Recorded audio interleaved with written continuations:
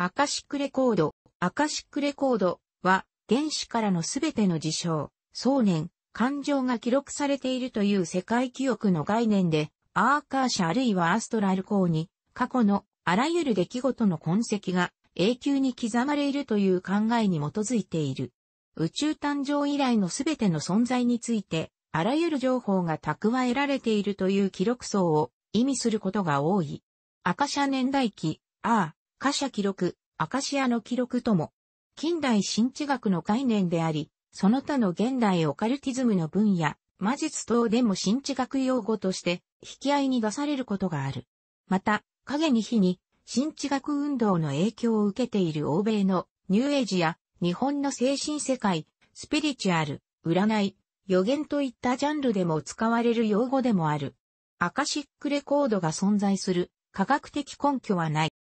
アカシックレコードのアカシックはサンスクリット語のアーカーシャに由来し、その英語的な変化形である。アーカーシャは近代の西洋オカルティズムではエーテルに相当するものとサタが元来はインドの伝統的な概念であって、オカルト的、ニューエイジ的な意味合いはない。アカシックレコードという言葉は全く近代、ヨーロッパ的な用法である。近代新知学を創始したヘレナ・ピー・ブラバツキー、1831年から1891年は、アーカーシャを生命力のようなものとみなし、これをもってアーカーシャは新知学の用語となった。アカシックレコード、アカシャ年代記は、新知学協会のブラバツキーが最初に使った言葉、もしくは、同協会に属し、後に人知学を提唱したルドルフ・シュタイナー、1861年から1925年が作った言葉と言われる。シュタイナーは、投資能力のある意識のみが近づくことができる宇宙の超感覚的な歴史、世界で起こったあらゆることが記録されている巨大な霊的、パラマをアカシャ年代記、アカシアの記録と呼んだ。近代新知学系の思想家、オカルティストたちによると、物理界、優生界、深海、天空などの世界の果てに、それを取り巻くように不思議な境界線が遠く伸びており、ここには全宇宙の歴史が時間の流れに従って配列されており、これがアカシャ年代記、アカシックレコードであるという。アカシックレコードは解読不能な言語によって記された書籍に例えられる。近現代の新知学や人知学だけでなく、現代のニューエイジ文化の用語としても使われるようになり、新知学の影響を受けた心霊治療家、心霊診断家、江戸川ケイシーが使ったことで一般に知られている。ケイシーは催眠状態で病気の診断や予言を行ったが、彼が催眠時にアクセスしていたとされる潜在意識、無意識の次元、これまでに経験したすべての事柄が刻まれた霊的な記憶庫が、後に新知学の用語に倣ってアカシックレコードと呼ばれるようになった。心理学者、カール・グスタフ・ユングが提唱した心理学の概念である集合的無意識と同一しまた悪い比されることがあり、神の無限の記録、または図書館という意味でも使われ、世界のすべての現象を記録した霊界のスーパーコンピューターとも例えられる。しばしば万能の情報源と謳われ、一部の人々は実在すると考えている。未来の情報も含まれるとする場合、あらかじめ運命が決まっているという宿命論、予言が行えるとする場合は、決定論となる。小森健太郎は、ブラバツキーが古代アトランティス大陸の聖典だとしたジャーンの書について、記者にどこからこの文献を持ってきたのだと問われ、アーカーシャーの記録にアクセスしましたと答えたことが、おそらく世界で最初の用例であり、著書、シークレット・ドクトリンには、アーカーシャーの記録という言葉があると述べている。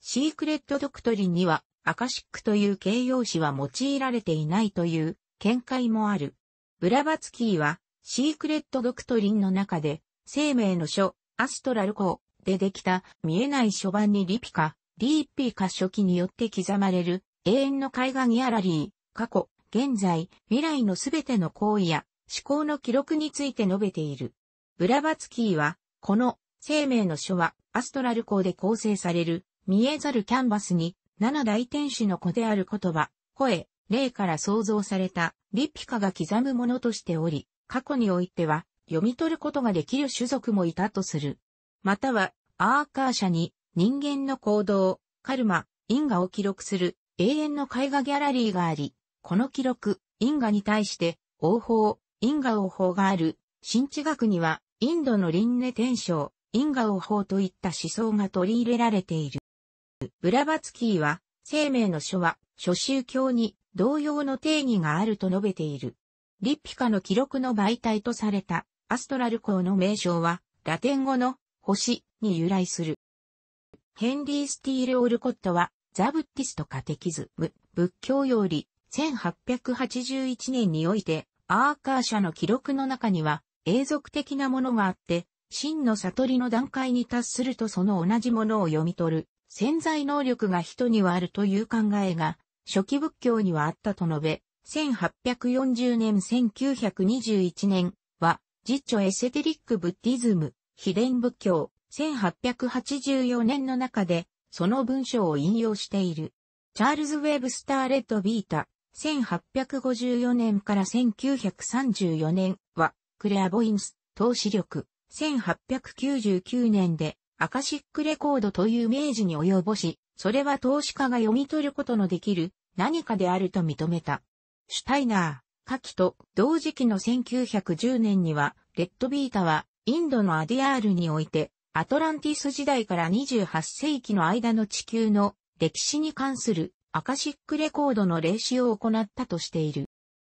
アイオワ大学元教授マーシャル・マクシックによると、アカシックレコードという言葉を作ったのは、ルドルフ・シュタイナー、1861年から1925年である。新地学協会ドイツ支部事務総長だったルドルフ・シュタイナーは物質界を取り巻く赤社という第五元素に超物質的な方法で世界で起こったことがすべて永遠に刻印されており、それを霊視できると主張した。霊視したという内容を1904年から1908年の5年間にわたり、ルツフェルグノーシス誌で赤社年代記よりとして連載した。宇宙も人間同様に転生するとし、宇宙と人類が転生を繰り返しながら霊的に進化する様子を描いている。地球は7つの曜日に倣って、土曜期、太陽期、月期、地球期、木星期、金星期、バルカンの7つの段階を経て進化するとされ、現在は地球期であるとされた。各惑星期は周期という回区分を持ち、各周期は9期という回区分を持ち、各球期は期という回区分を持ち、各根源人類期は文化期という回区分を持つとされ、現在は地球期、第4週、第4級、第4根源人種時代、5アトランティス時代、第5文化期であるという。地球期に人類は北極付近からレムリア大陸、アトランティス大陸に移動して進化し、現在に至っているとされ、人類と太陽系との劇的な出会いを語るオカルト宇宙史となっている。地球紀の次は、地球が木星になる木星紀とされている。この連載は、シュタイナーの生前に書籍として出版されることはなかった。アカシックレコードという概念は、心霊治療家、心霊診断家、エドガー・ケイシー、1877年から1945年が晩年から死後にかけてアメリカ社会で人気になるのに伴い知られるようになった、ケイシーに関する著作トマス・サグルー著、永遠のエドガー・ケイシー、1943年が出版される晩年まで、ケイシーはあまり知られていなかった。彼は、メスメリズム、動物磁気療法、催眠療法による、催眠状態で人々からの相談や質問に答えるという得意な人生を送った。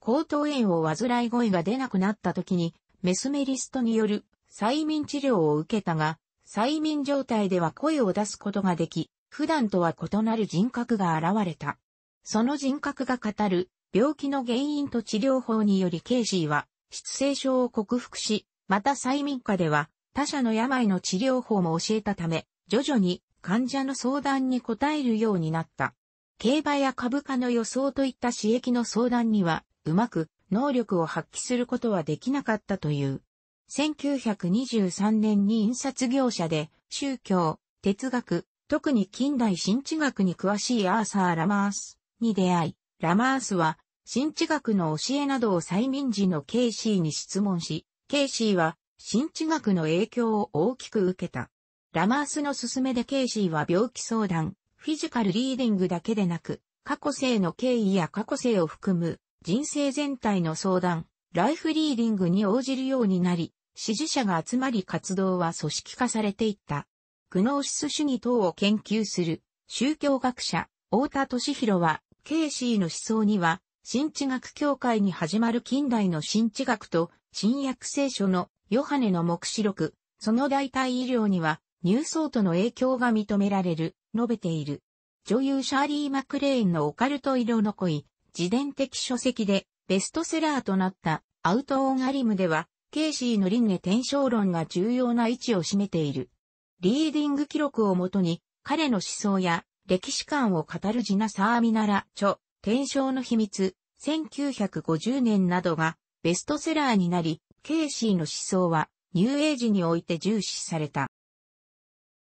ラマースの知識は、神智学に基づくもので、神智学の霊魂観の真偽などを催眠時のケイシーに質問した。これに対し、ケイシーは次のように説明している。人間の霊魂は輪廻転生を続けており、太陽系は8次元からなる魂の収容場である。3次元を特徴とする地球では、霊魂は3次元的身体、肉体をまとって自由意志を行使する。地球では肉体と霊体という二重性のために人間の意識は健在意識と潜在意識に完全に分離してしまい、潜在意識は眠り込んだ状態になる。潜在意識の次元では、魂がこれまでに経験した事柄、過去性を含むがすべて記録されている。ケイシーは、この潜在意識の記録、霊的な記録庫にアクセスし、過去世の記憶から得た情報により、人々の相談に応じているのだという。この霊的な記録庫が、後に、新知学の用語に倣って、アカシックレコードと呼ばれるようになった。ケイシーは、相談者の問題は、前世から受け継いだカルマ、因果によって起こると考えた。また、滅亡した古代大陸アトランティス、現在では架空と考えられているに生きたアトランティス人が多数アメリカに転生していると述べ、アトランティスの攻防をめぐる超古代史なども語った。ケイシーは科学技術の暴走による文明の滅亡など、終末思想の濃い予言を間近なものとして、5、核兵器の脅威に怯える人々の支持を得た。これらの予言が当たることはなかった。ケイシーのリーディング結果は1万4000件に及び、アメリカのエドガー・ケイシー財団 A、RE が管理している。アカシックレコードへのアクセス方法はチャネリング、またはリーディングと呼ばれるが、これらは心霊主義の交霊会に由来し、もともとは霊媒によって行われた。1960年代のカウンターカルチャーを源流の一つとし、1970年代後半に始まるアメリカのニューエイジ運動の中でアカシックレコードへのアクセスが試みられていった。ニューエイジでは世界のすべての現象を記録したアカシックレコードは実在し、それにアクセスするチャネリングは神聖のものと考えられることがあり、異次元のソースから工事の霊的な情報、真実であり重要な情報を得ることができるチャネラーが多数存在すると考える人もいた。現代日本のオウム真理教は、近代新知学経由のヨガを教義と修行の基本に置いており、近代新知学のアカシックレコードの概念から、神秘思想はもともと科学、真理であると考えた。新知学では世界を目に見える物質界イメージそのアストラル界、音素だけのコーザル界の三つに分け、こうした世界の果てに宇宙の全現象が永遠に記録されているアカシックコードと呼ばれるエーテル上の全記憶情報媒体が連なっているとしている。教祖、朝原将校は、近代新知学の宇宙構造をそのまま踏襲し、アカシックレコードの全情報性をコーザル界に置き、精神科学、コーザル界から下ろされた情報が現世の科学となっていると説明した。そして、精神科学の世界から情報が降りるのは直感によってであり、アインシュタインはじめ偉大な科学者は皆、インスピレーションによって、精神世界の情報を得て、それを理論化、実験によって検証し、個々の科学法則を作ってきたと語り、これを逆転させ、釈尊も最高の科学者であったと述べた。日蓮宗、全流寺住職、全現代宗教研究所研究員の渋沢、三則は、オウム真理教の主張は、精神世界は真理なのだから、科学に他ならないという靴であり、いわば真理は常に科学であるはずだとする、逆転した科学信仰であり、科学万能論であると述べている。この話では、後藤務のノストラダムスの大予言、1973年に橋を発する最初のノストラダムスブームでの子供たちの反応が描かれている。作中では、主人公のクラスメートの花輪くんが、ノストラダムスの予言の根拠として、アカシックレコードを説明している。このエピソードは、アニメ第1期、1990年から1992年で放送された。時間ファンタジー、SF 作品であり、アカシックレコードが重要なモチーフとなっている。主人公は定められた運命の改変をかけたタロットカードの精霊たちの戦いに巻き込まれる。作中では頻回にわたり、運命はアカシックレコードに刻まれているということが語られ、またアカシックレコードを利用した特殊能力を持つ精霊やアカシックレコードを読むことができる人物度が登場する。ウルトラセブン誕生35周年、エボリューション5部作、第5話にて、その存在が判明する。近未来、死滅する人類に代わり植物生命体が新たな地球の支配者となることが暗示されていた。また、これを書き換えることは、宇宙で最大の罪とされている。作中に登場する列車型タイムマシン、デンライナーは、アカシックレコードにアクセスし歴史に干渉することのないように運行している。地球の本棚と呼ばれる地球の記憶が本の形で保管されている本棚が登場する。